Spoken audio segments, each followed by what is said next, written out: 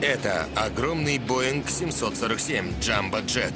Самый быстрый дозвуковой авиалайнер в мире. Все самолеты стареют. Пришло время отправить на свалку и его. Давай, выключай все, я закрываю клапаны. Все 6 миллионов деталей. Это далеко не все. И 66 тонн высокопрочного алюминия. Начинка должна по максимуму использоваться в повторном производстве и принести 6 миллионов 800 тысяч долларов. Они впервые разбирают Boeing 747.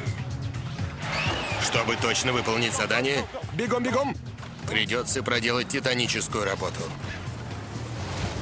Рабочие будут рисковать жизнью, двигая куски величиной с автомобиль под палящим солнцем. Только чтобы их сломать.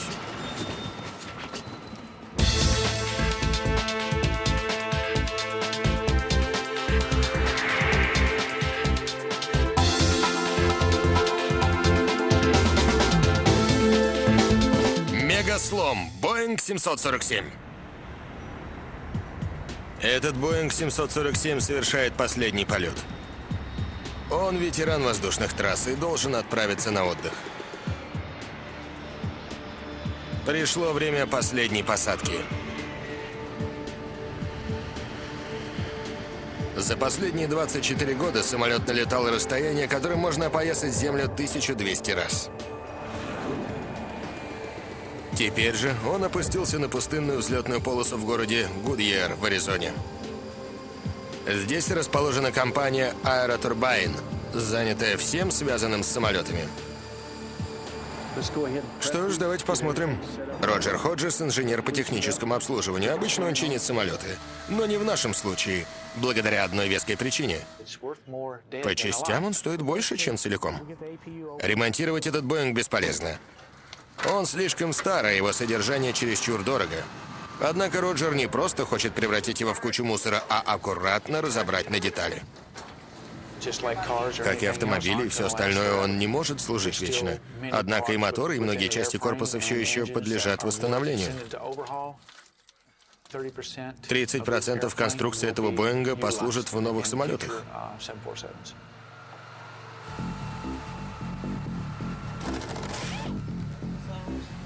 Части корабля взаимозаменяемы. Ведь конструкция Боинга не сильно изменилась со времен первого коммерческого рейса в 70-м году.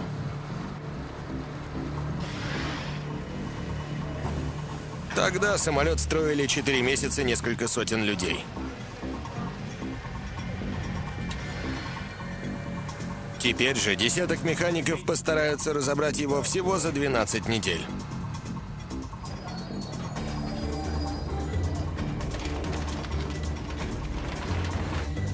Дерек Пфайфер – один из них. Он руководит работой снизу.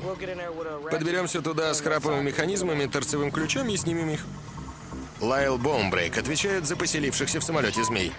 Матерь Божья! А Пит Фулкнер старается от них увернуться. Ну и ну. Боже мой. Все они по праву считаются специалистами, но вот беда. Никто из них раньше не разбирал самолет такой величины. Это их первый.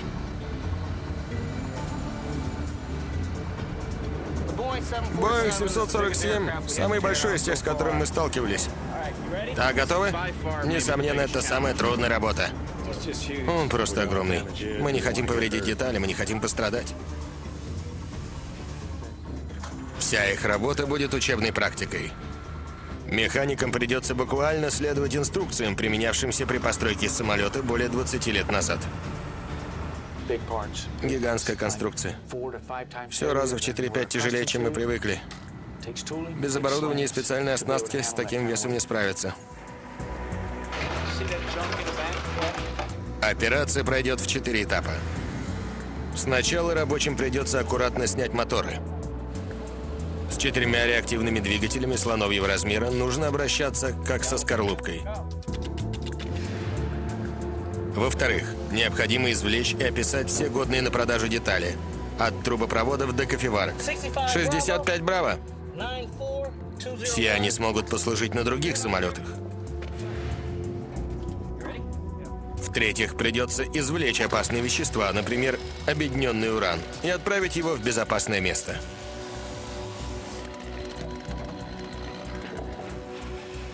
Также рабочие выбросят все, не имеющее ценности.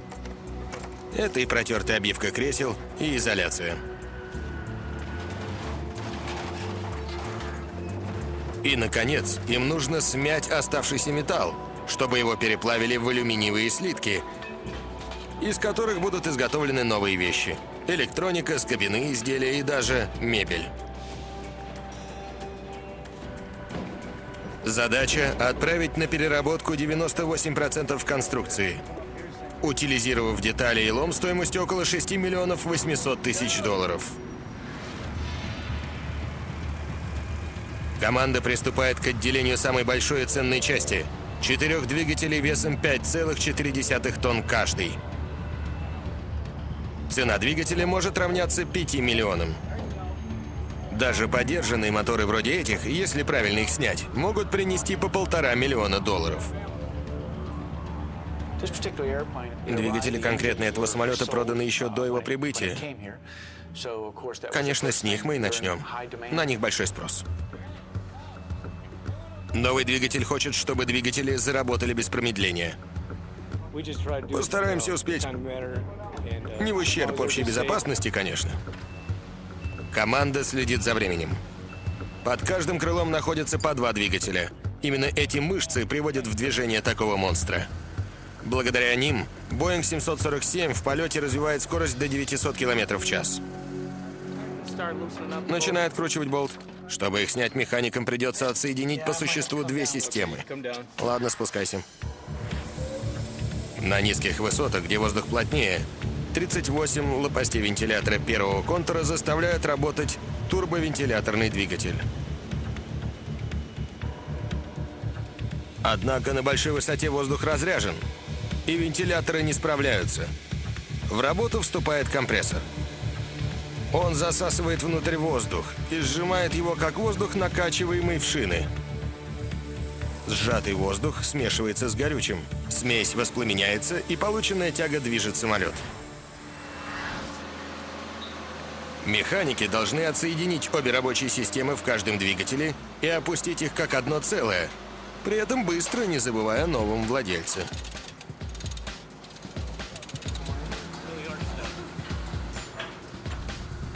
Они отрезают 16 электрических кабелей, отсоединяют три гидравлических линий, сообщение принято, блокируют топлепровод и откручивают 375 креплений.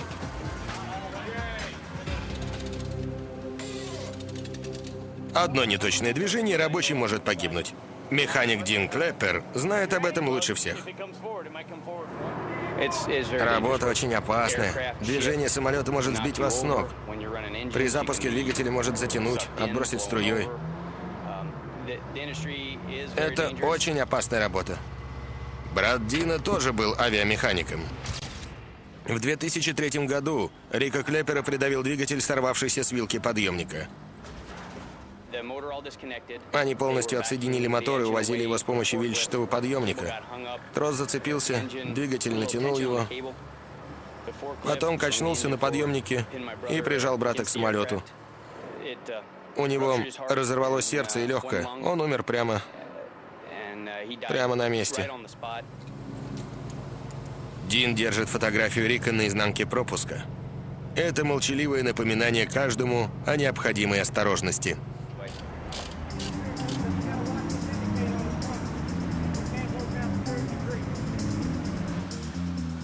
Чтобы подготовить двигатель к демонтажу, трем механикам требуется около четырех часов. Подожди, чуть-чуть ослабь. Для фиксации первого двигателя они цепляют лебедку. Ховард, я потяну слегка вниз. Готов? Стой! Падение двигателя весом почти в 5,5 тонн может привести к катастрофе. Ослабь немного. А снять нужно целых четыре. Сто тысяч ударов в день. Три миллиарда ударов за всю жизнь. Насос, на который мы не обращаем внимания. пока он не начинает подводить. Мы исследуем причины и последствия сердечной дисфункции в передаче «Секреты нашего сердца» на канале National Geographic.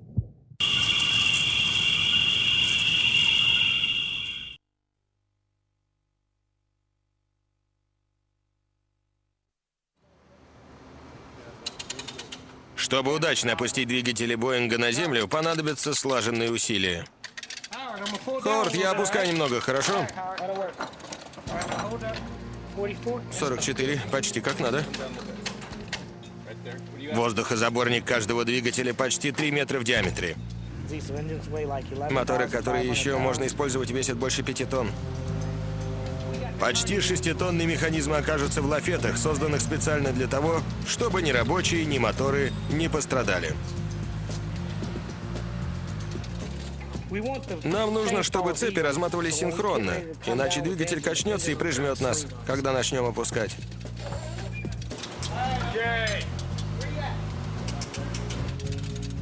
Наконец, механики снимают первый мотор.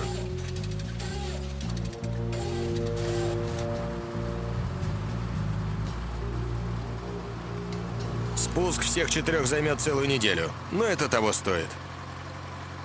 Вместе моторы принесут целых 6 миллионов долларов.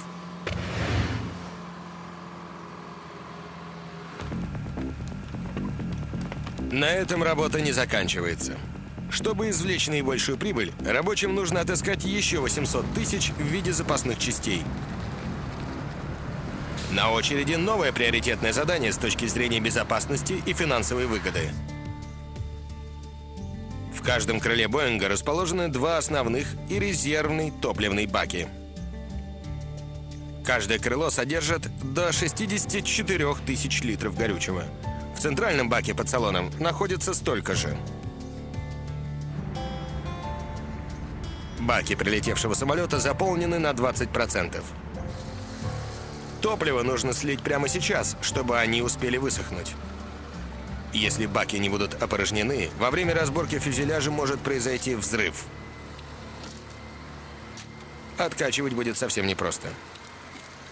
Доступ к горючей жидкости находится на высоте 9 метров. Стивен Коллинз – специалист по сливу топлива. Мы отправляем топливо всех поступивших самолетов для повторного использования. Однако это первый Боинг 747, с которым столкнулся Стивен. И существует одна проблема. Дэйн, ты на месте? Он не может заставить горючее течь. Горючее здесь не идет.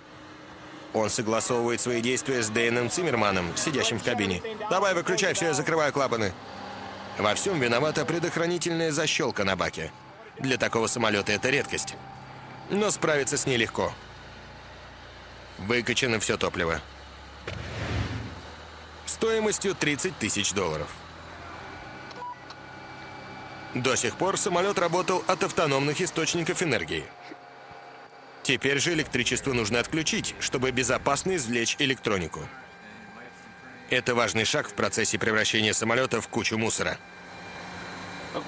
Так, с топливом покончено. Вырубаем электричество.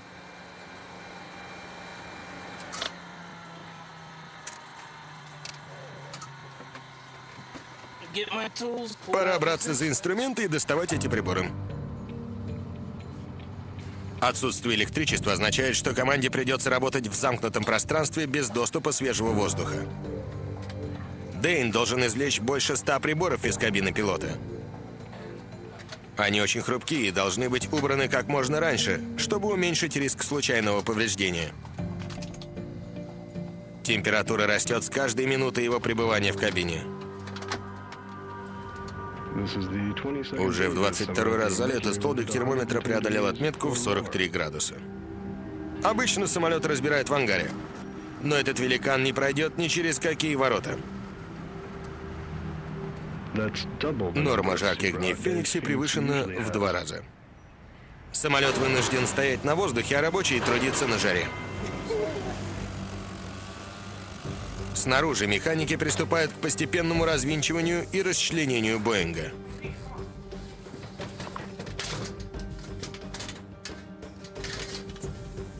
Вскоре занятие напоминает разбор пылающей печи. Разбирая самолет на улице, мы почти обезвожены.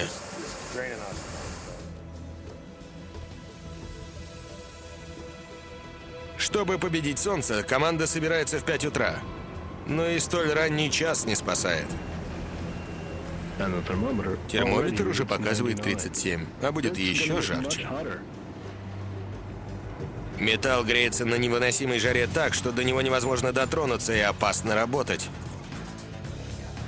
Настоящий труд только начинается. Боинг 747 жарится под аризонским солнцем. Кабина превратилась в духовку. Дэйн Циммерман обливается потом, извлекая начинку кабины старого самолета. Его работа – важная часть утилизации корабля. Большинство, если не все эти приборы, будут переналажены и проданы. Они заработают на новых Боингах 747 и других самолетах. На вторичном рынке за них можно выручить около 75 тысяч.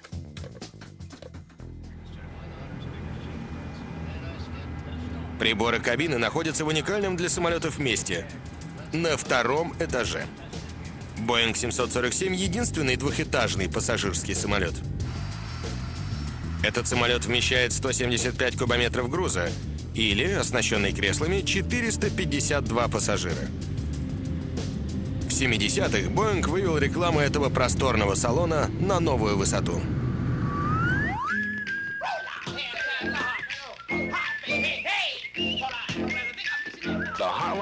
Гарлемские путешественники покажут вам, что такое Боинг 747. Итак, добро пожаловать на борт самого большого и комфортабельного самолета, где не нужно ограничивать свободу движения, а места хватает и для головы, и для ног, и для локтей.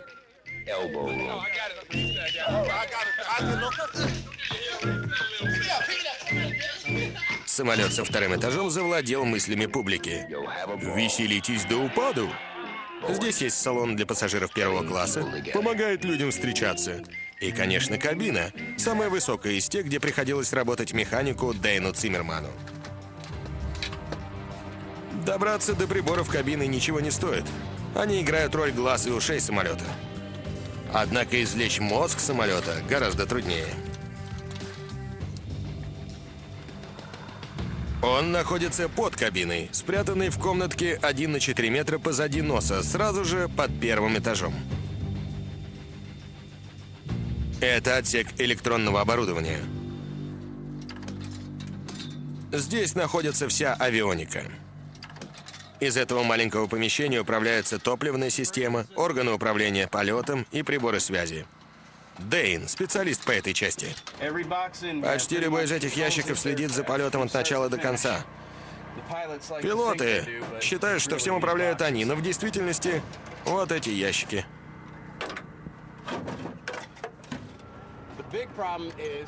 Труднее всего спустить их отсюда вниз, ведь они такие тяжелые. Обычно эту работу выполняют двое, иногда трое, в зависимости от длины ваших рук. При надлежащем уходе эти приборы послужат еще не один день. Ящики отправят на осмотр, и их можно будет использовать в других самолетах. Это далеко не все. Цена всех ящиков из отсека электронного оборудования — 100 тысяч долларов.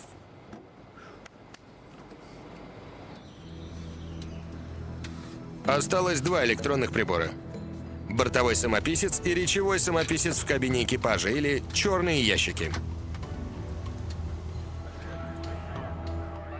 Эти ящики собирают данные о полете и записывают голос пилота для расследования любых происшествий. Они находятся над пассажирским салоном в хвосте самолета. Инженеры полагают, что этот отдел с наибольшей вероятностью выдержит крупную аварию.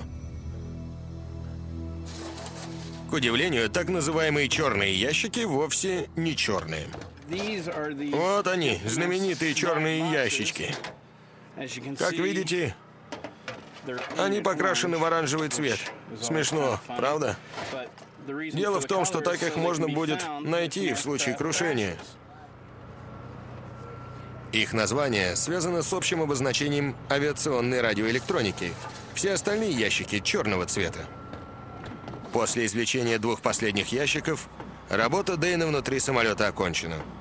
Однако изъятие запчастей всего лишь часть трудоемкого процесса. Учет извлеченных деталей – немыслимое предприятие. Кроме того, на вторичную переработку пойдет 8 километров трубопровода, 275 километров проводов и 3 миллиона крепежных изделий. Все это находится главным образом здесь, в брюхе великана. Люки ведут в четыре отсека размером с фургон каждый, заполненные трубами и проводами. Труд механика можно сравнить с потрошением огромной птицы, причем следить нужно за каждым перышком. Это отсек аэрокондиционирования. С него мы, в частности, и начнем. Когда закончим, здесь будет пусто. Пит Фолкнер – один из пяти механиков, работающих полные 12 недель. Это очень долгий процесс. Чтобы извлечь из старого самолета максимальную выгоду, подержанные детали нужно забрать и правильно описать. Однако поиски номера детали могут оказаться столь же непростыми, как извлечение. Все эти части, проводка, обшивка и тому подобное, могут быть изношены. Работать с ними трудно. Обычно они довольно потрепаны. Ага, вот он. Заводской номер. 65Б 94200. Затем рабочие записывают каждый номер на этикетке. На каждую вынутую деталь заводятся ярлык изъятия. Пишем регистрационный номер, номер обслуживания, класс детали в перечне и чаще всего номер детали в серии. Затем цепляем этикетку и относим в ту клетку. Так ее можно добавить к общей статистике. Обычно мы прикрепляем от 500 до 1000 этикеток. В этом случае больше из-за размеров самолета. Помеченные детали отправляются к инспектору по самолетам Джону Листеру. Джон подтверждает тип всех извлеченных деталей.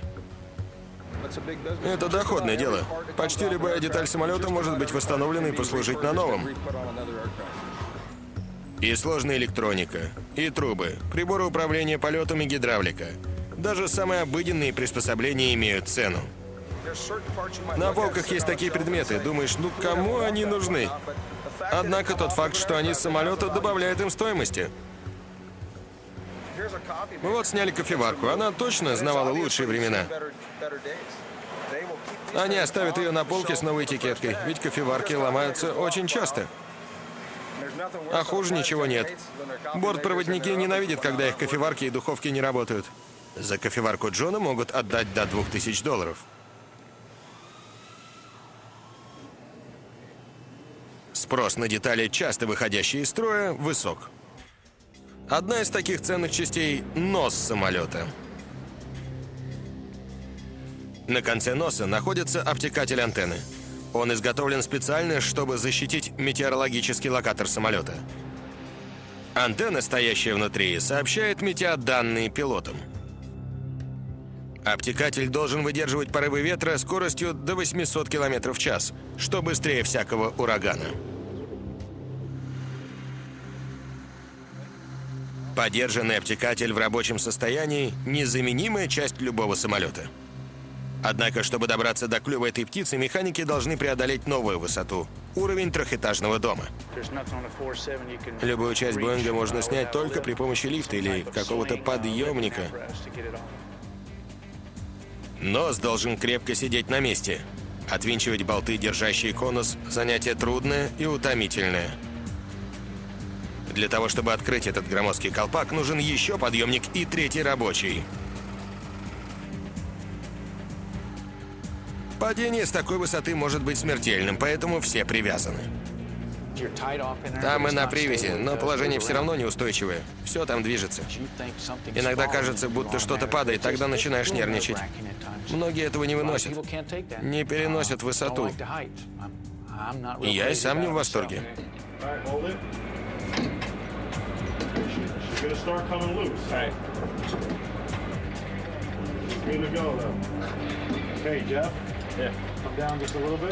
Рабочие вскрывают нос, где прячется метеолокатор самолета стоимостью 5000 долларов.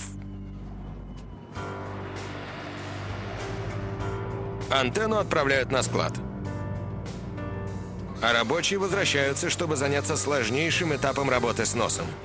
Они снимают сам обтекатель.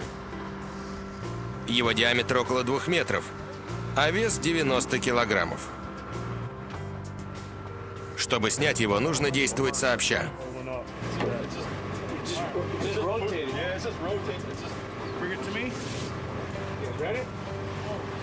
Вместе они благополучно опускают его на землю.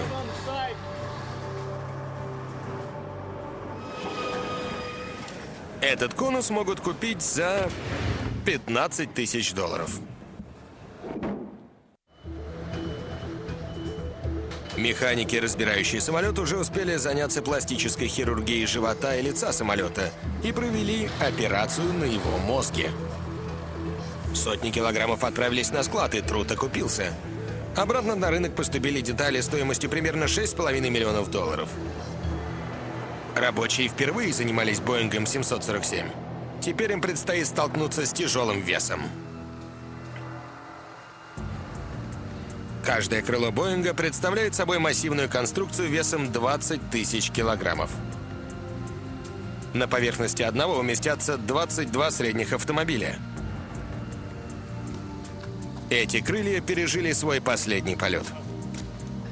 А вот устройства, управляющие закрылками, силовые приводы, все еще имеют ценность. По два основных привода находятся в каждом крыле, еще четыре управляют стабилизаторами и два каждой из рулевых поверхностей.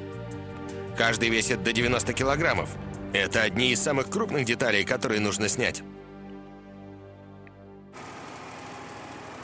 Рискованная и опасная работа будет проделана на высоте третьего этажа. Наши механики никогда до этого не сталкивались с приводами такого размера. Рабочие располагаются сверху и снизу стабилизатора. Чтобы добраться до привода, сначала нужно поднять закрылок. Трудность в том, что он весит 250 килограммов. Так, Ховард?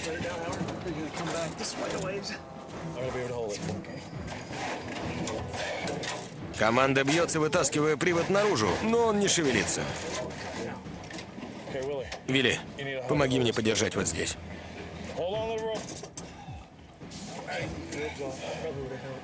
Подержишь минуту? Да. Кому-то нужно поднимать закрылок, пока идет борьба. Кронштейны в хвосте не дает приводу пройти. Рабочим приходится как-то их обходить, стараясь не повредить привод.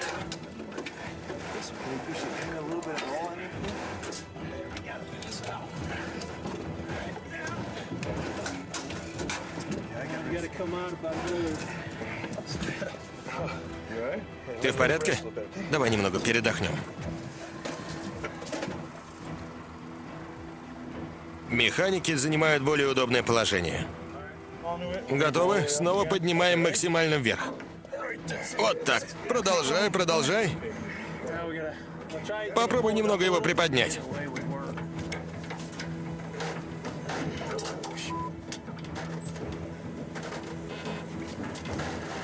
И ведут сражение уже на коленях.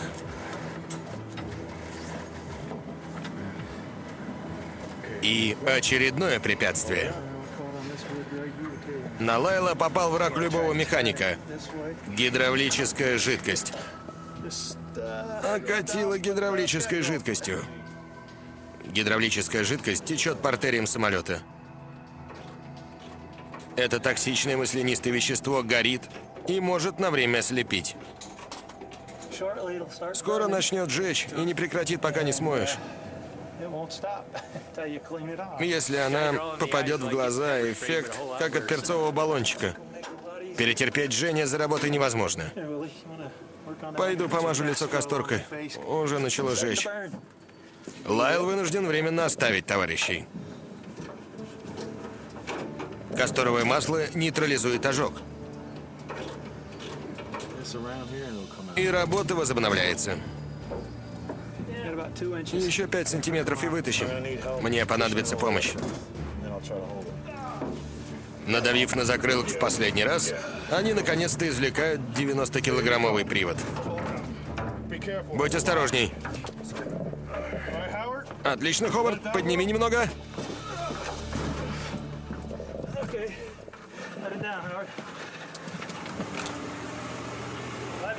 Рад, что это закончилось. Изнурительный труд послужит уроком для работы со следующим приводом и остальными восемью.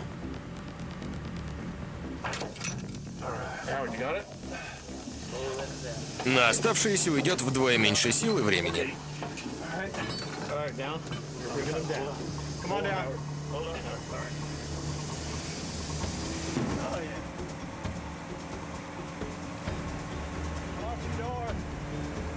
Каждый большой привод стоит от 5 до 10 тысяч долларов. За 10 извлеченных заплатят где-то 80 тысяч. Однако для достижения цели не хватает 100 тысяч. А слом уже близится к завершению. Будущая судьба Боинга разворачивается у всех на виду. Напротив, кучу металлолома превращают лайнер «Макдоналл-80». Из него извлекли все годные части, а оставшимся займется Хулио Эстраде из фирмы по переработке металла Alameda Metals. Гильотинный пресс Хулио сжимает силой в 90 тысяч килограммов.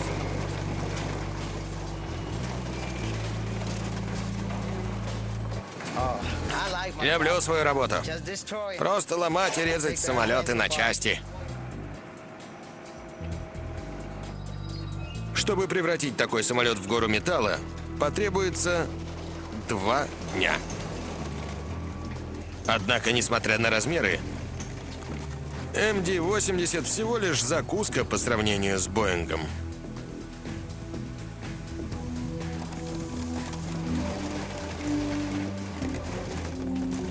И хотя останки самолета выглядят как мусор, они получат шанс ожить вновь.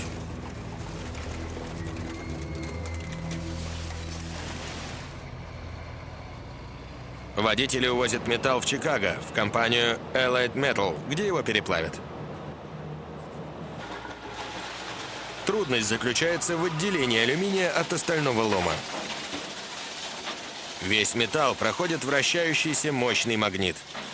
Менее активный алюминий летит вниз, а железо остается на барабане, а затем падает в свой контейнер. Отсюда его забирают на отдельную переплавку. А очищенный алюминий идет в печь. Внутри газовые горелки разогревают металл до 500 градусов Цельсия.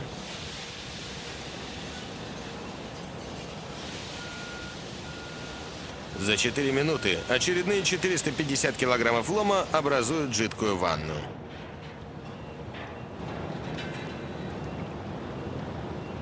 Рабочие отливают жидкий металл в 550-килограммовых форм или 10-килограммовые чушки –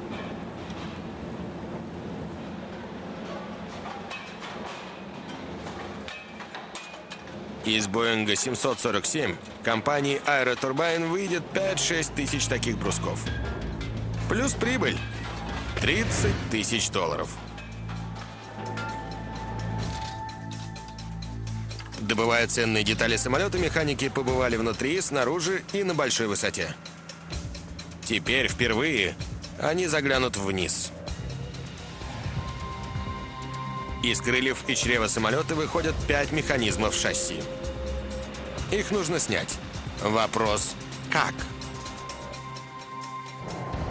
Самолет должен стоять, сохраняя равновесие.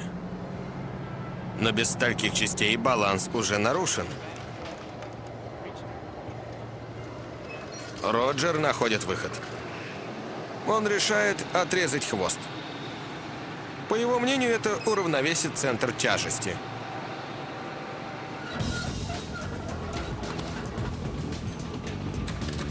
Ножницы Хулио способны пробить 5-сантиметровую сталь одним ударом. Механические челюсти открываются так широко, что разрывают полметра за укус.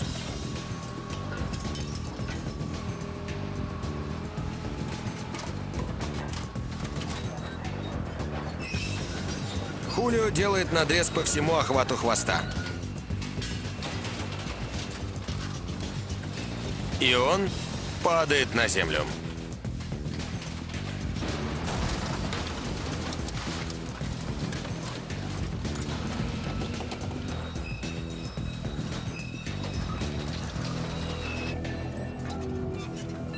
Самолет уравновешивают с помощью двух видов домкратов.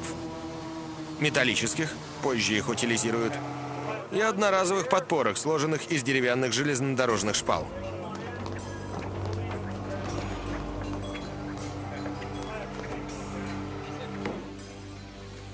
Балки забивают кувалдой как можно плотнее.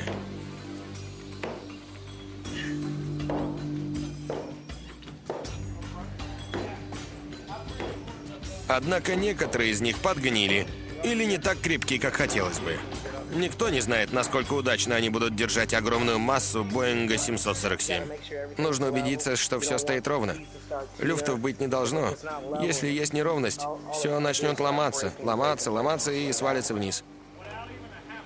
Опоры крепко стоят на местах, и механики спокойно принимаются снимать шасси. Вывернуть огромные болты непросто.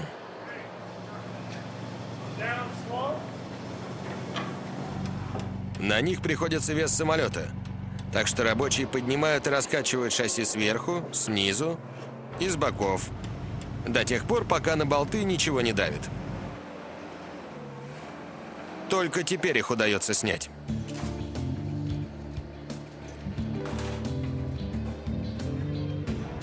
Работа выматывает. Но через два дня шасси исчезают. Стоимость всех проданных комплектов составит 50 тысяч долларов. Фюзеляж держится лишь на домкратах.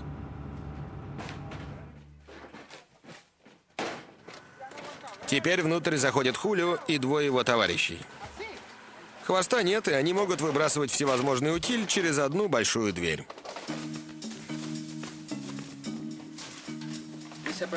Мы все сортируем. Провода, изоляцию, алюминий.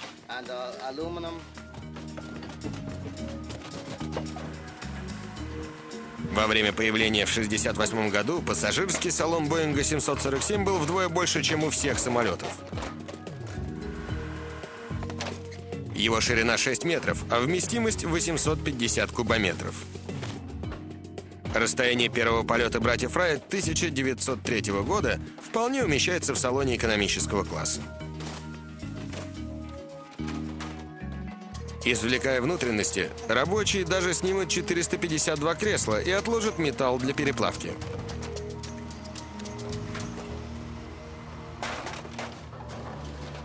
Кажется, останки фюзеляжа готовы пойти на лом.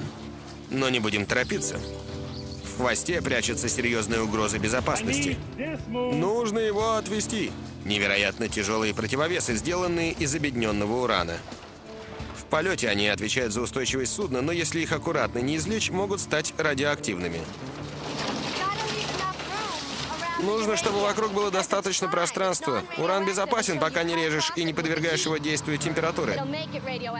От этого он станет радиоактивным. Инспектор безопасности и экологической медицины Энн Мари Стилсон отправит объединенный уран квалифицированному специалисту. Правильно избавляются от него именно так. Это полезно для окружающей среды, а не просто бросают с кучей лома. Если его расплавить, если бы так случилось, могли бы возникнуть проблемы, он бы стал источником радиоизлучения. Другая угроза может все еще скрываться в огромных топливных баках. В них помещается 190 тысяч литров, и прежде чем начнется слом, нужно избавиться от всех остатков горючего и газа. Убедиться в их пустоте наверняка можно одним способом – залезть внутрь. Протиснуться удается с трудом. Однако внутри размер баков Боинга поражает –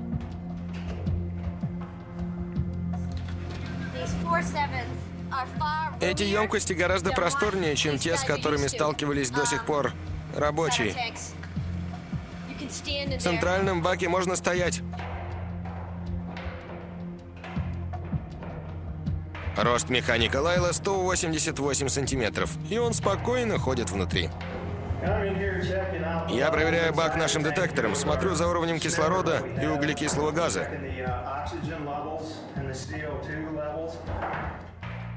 Когда позже Хулио начнет крушить этот бак, обязательно посыпятся искры. Остатки топлива и пары могут спровоцировать взрыв.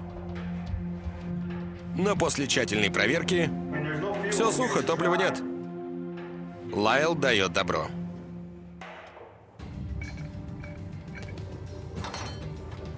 Останки воздушного судна могут быть смяты. Наступает торжественный финал с элементом риска. Механикам нужно по очереди убрать металлические домкраты. Вскоре под самолетом останутся лишь деревянные опоры, но, возможно, они выдержат всего несколько секунд. Я опущу домкраты и очень быстро их вытащу. То есть я просто выпущу воздух и побегу, потому что не знаю, упадет он или еще что произойдет. Побежал.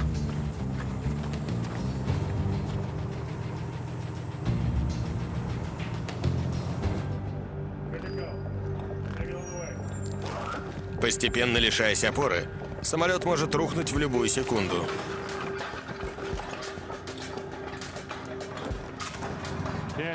Что бы ни случилось, зрелище будет что надо. Каждый вынутый домкрат лишает Боинг устойчивости. Это весьма сложная процедура и невероятно опасная. Давай, давай, побежали.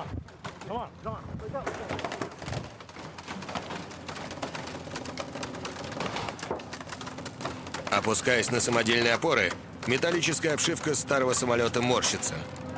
Но Боинг не падает. Шпалы стонут, скрипят и крошатся. Но дерево держит. Рабочие, последние 12 недель разбиравшие отправлявшие самолет в утиль, могут отойти и посмотреть с безопасного расстояния. Удивительно. Я не думал, что подпорки так долго продержатся. Они оказались крепче, чем мы думали. Однако, чтобы рабочие могли приступить к следующей фазе, он должен упасть. Поэтому за дело берется Хулио Эстрада и его мощная гидравлическая клешня. Наконец-то.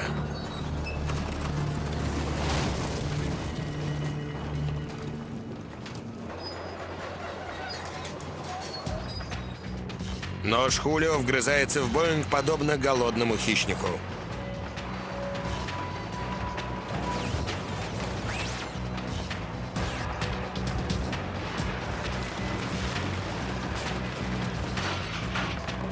Процесс поломки может казаться беспорядочным, но и разрушение имеет метод.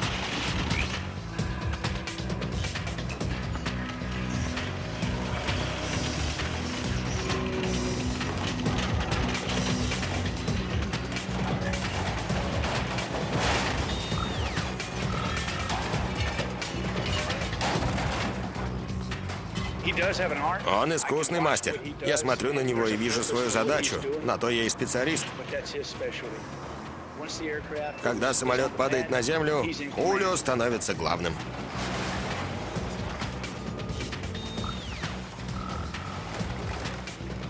Ему необходим весь металл. И еще кое-что. Он выбивает все стекла.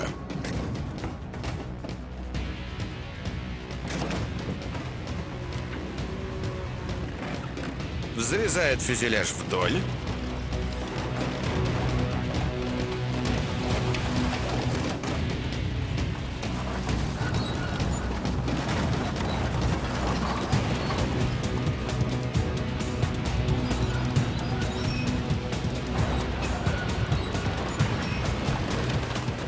И снимает верхушку, как на вареном яйце.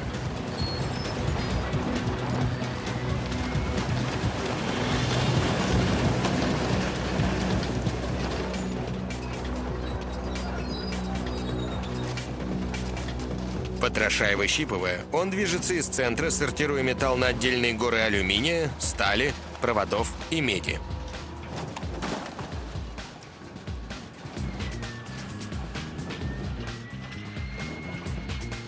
Механики, 12 недель занимавшиеся разбором Боинга 747, смотрят, как его останки превращают в лом.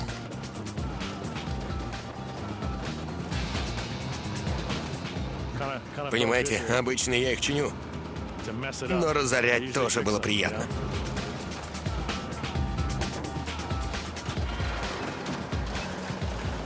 Хороший самолет. Жаль, что отслужил свое.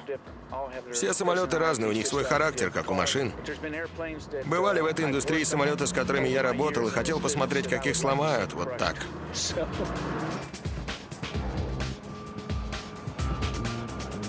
Хулио справляется с работой за 8 дней. 4 раза медленнее, чем в случае обычного самолета. Когда-то громадный самолет превратился в кучу мусора 6 на 6 метров. Этот лом стоит 30 тысяч долларов. В итоге утилизированные части собрали 6 миллионов 800 тысяч долларов. Неплохо для старого самолета.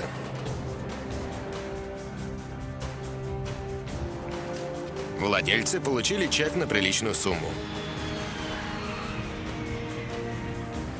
Команда механиков впервые столкнулась со столь сложной задачей – утилизацией Боинга 747. Демонтированные ими двигатели уже служат другому самолету. Тысячи деталей, больших и малых, скоро вернутся в работу. Металл идет на переплавку. Отходы и вредные материалы увезли, и никто не пострадал. Наш Боинг 747 покинул строй в возрасте 24 лет.